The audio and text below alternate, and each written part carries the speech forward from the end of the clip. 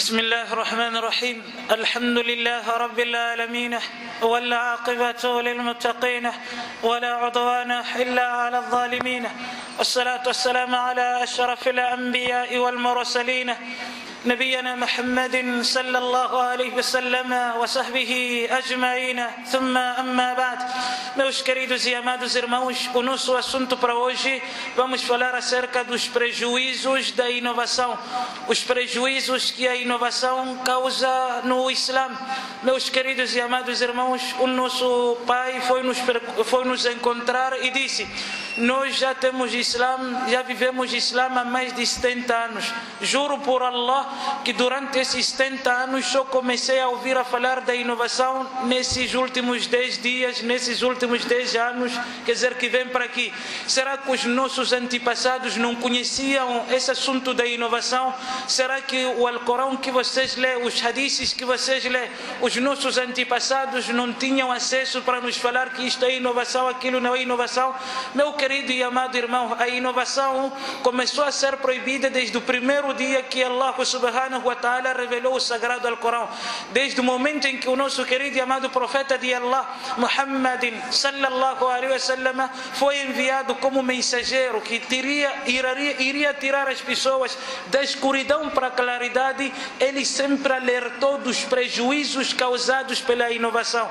Nós iremos falar dentre alguns desses prejuízos que a inovação causa na nossa sociedade. Dentre os primeiros prejuízos da inovação, primeiro é a divergência. A inovação é a causadora da divergência no meio dos muçulmanos. A inovação é a separação. A inovação é o distanciamento daquilo que é a verdade do Alcorão e da Sunna. Criaram-se seitas e movimentos, aquilo que Allah subhanahu wa ta'ala fala no sagrado Alcorão. Aqueles que se dividiram na sua religião e tornaram-se ou criaram seitas. Lasta minhum fi shay. Tu Muhammad Muhammad sallallahu alaihi wasallam não fazes parte de nenhum deles. Esses que causam quer dizer, divisionismo dentro do Islã, criam seitas, seitas, seitas. Esses não fazem parte daqueles que são o que? Seguidores do nosso querido e amado profeta Muhammad sallallahu alaihi wasallam. Innama amruhum ila Allah. O assunto deles está com Allah. Allah irá pôr a eles a saber tudo o que eles fizeram no dia de Qiyamah. Vamos levar para um hadith também. Este hadith, mashallah, um hadith que foi narrado por muitos companheiros do nosso querido e amado profeta de Allah. E narraram também nos seus livros muitos dos nossos companheiros da Sunna.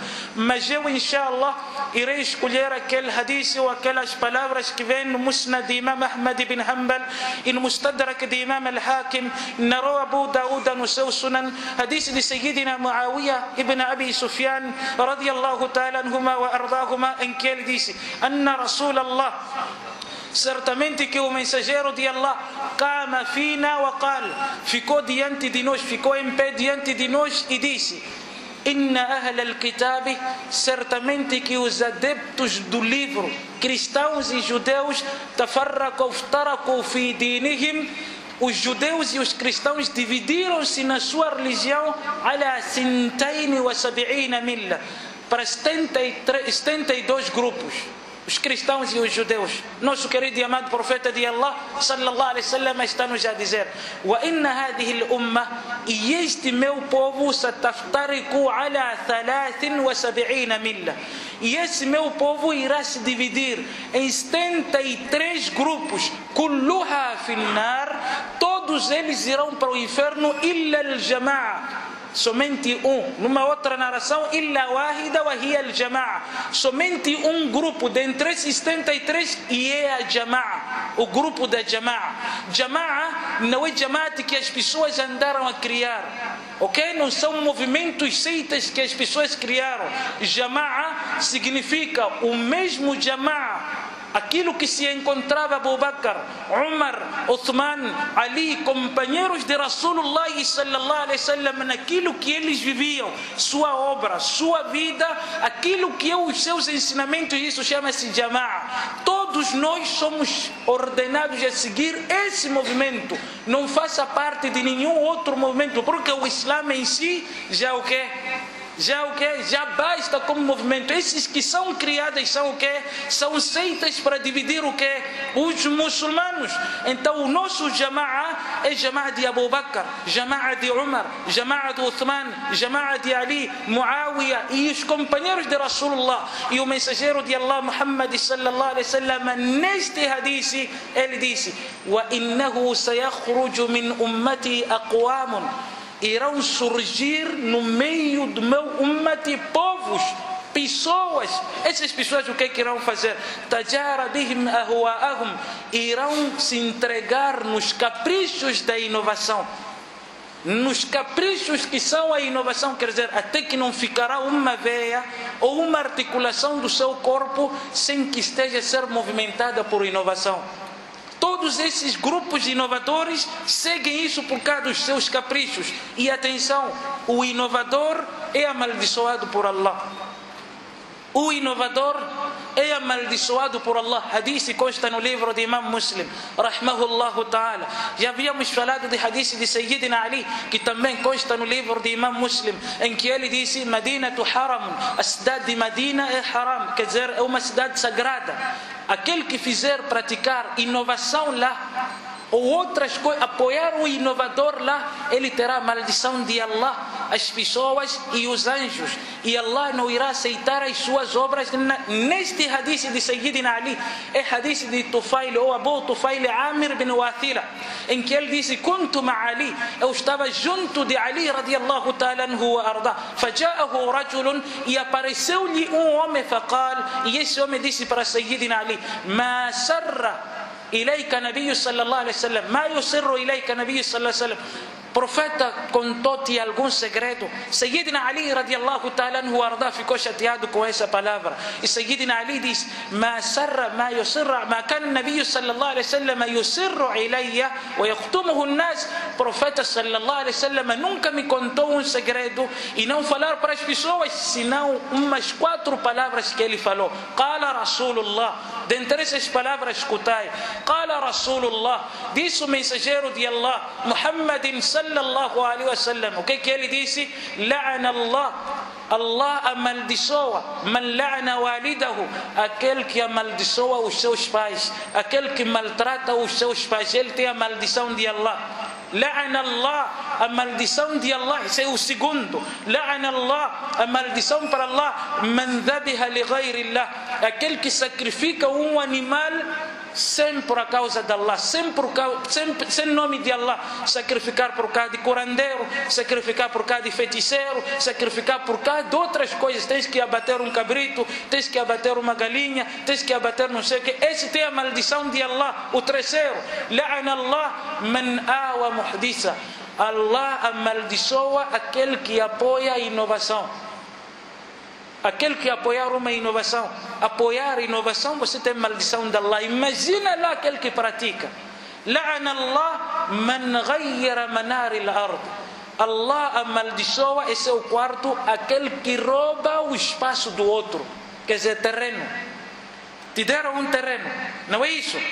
teu espaço é daqui até aqui, teu limite é daqui até ali.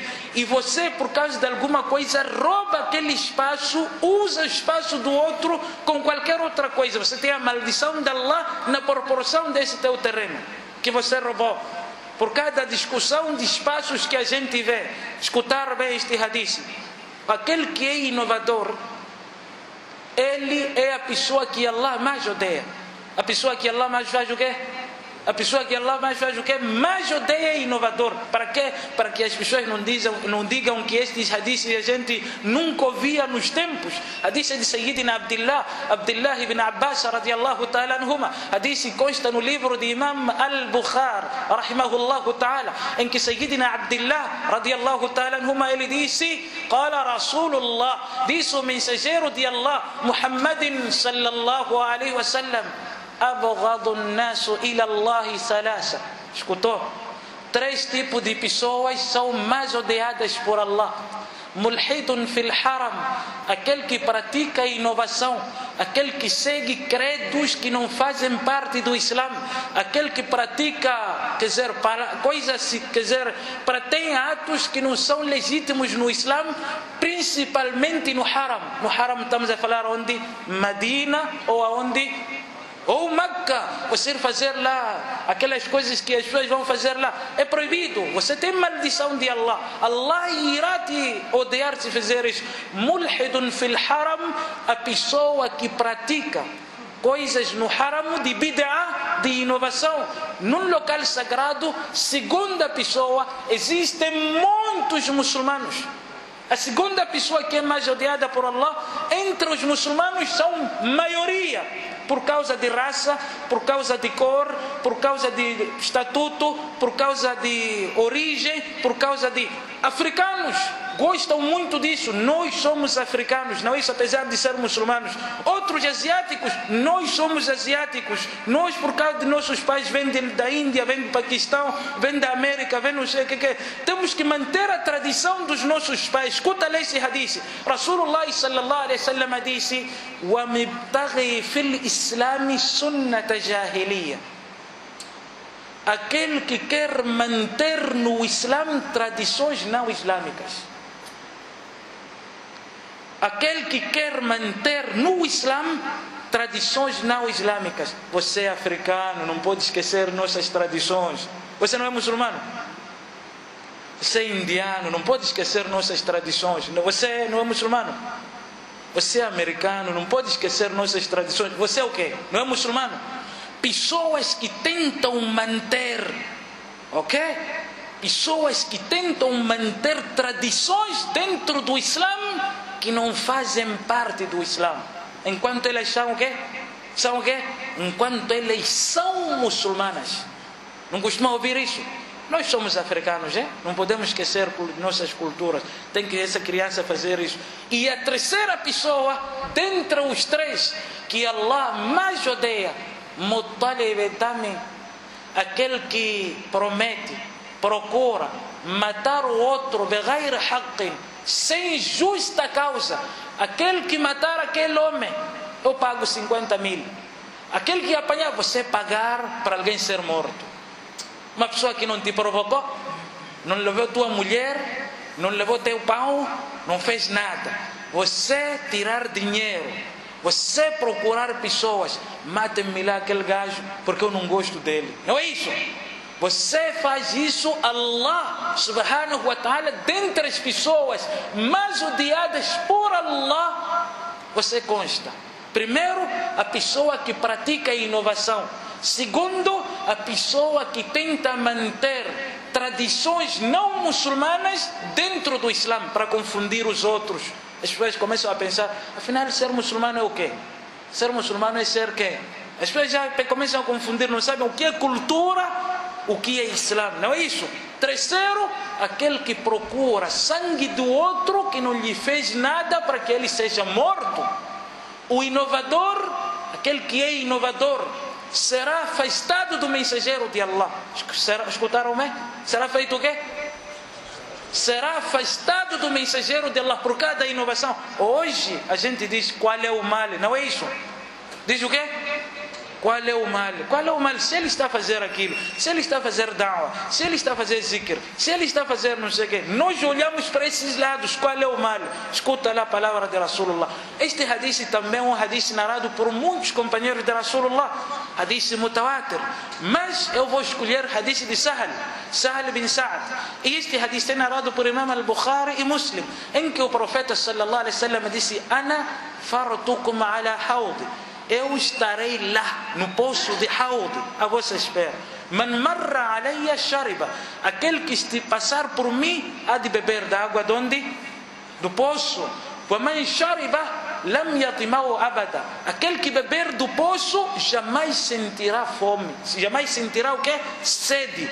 E aí o profeta sallallahu alaihi wasallam diz: "La yaraddanna alayya aqwamun" irão vir ao meu encontro pessoas, e arifunani wa arifuhum, eu conheço a eles irão me conhecer também por causa dos seus sinais, como se fossem muçulmanos.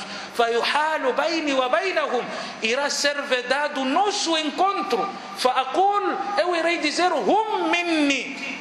Esses são meus. Por que, que vocês estão a negar eles virem? Terá, dirão para o mensageiro de Allah: Innaka la tadri ma ahdathu ba'dak. Você não sabe o que essa gente andou a inventar na religião depois de você. Inventaram muita coisa.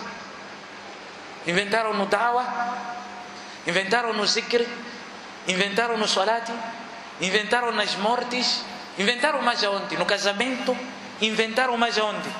Começaram a inventar todos os lados, você só apanha a invenção. No casamento, a no salat, a no dawa, a bid'ah, mais aonde? Onde não há bid'ah? Quando você morre, a bid'ah, quando é zikr, a bid'ah, mais aonde? Inventaram tanta coisa, quando você olha diz, essa gente não está a fazer nada de mal, não está a beber cerveja. Escuta lá, Rasulullah. Vão lhe dizer que esses inventaram e ele não vai dizer, ah, esses inventaram, estão a querer me agradar. Não é isso? Como nós dizemos, ele vai dizer suhkan, suhkan. Mesma coisa dizer suca em português, não é isso? Mas em árabe é afastai-vos de mim, afastai-vos de mim.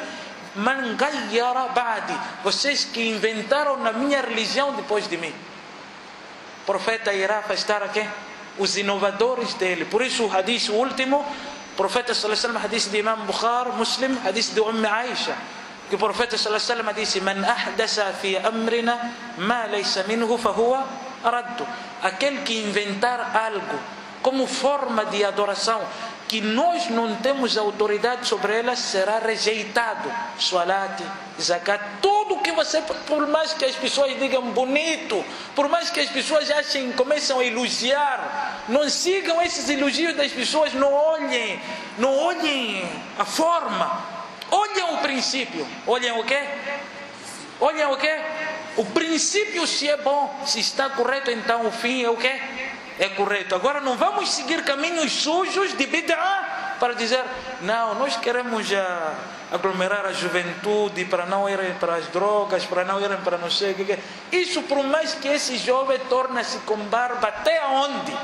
Se for pelo caminho da bid'ah, será o quê? Será o quê? Será rejeitado. O caminho que você tem que seguir é caminho de quê?